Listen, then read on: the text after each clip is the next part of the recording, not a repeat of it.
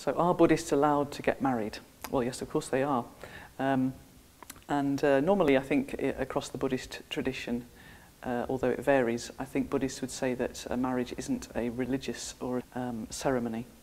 Uh, it's two people uh, agreeing, making an agreement to live together and to share their property and um, look after each other.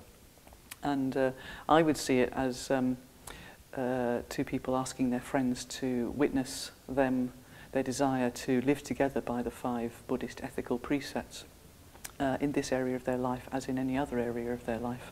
They wouldn't get married at the temple, but uh, in Britain you'd have to go down to the register office and have a legal wedding there, but then you could have a separate ceremony at the temple if you wanted to with your friends. Um, but of course, if you were a monk or a nun, you wouldn't get married because you've already decided as part of being a monk or a nun that you are not going to get involved with family life and marriage and sex, career and having your own house um, as part of your decision to live the Buddha's teachings in that style.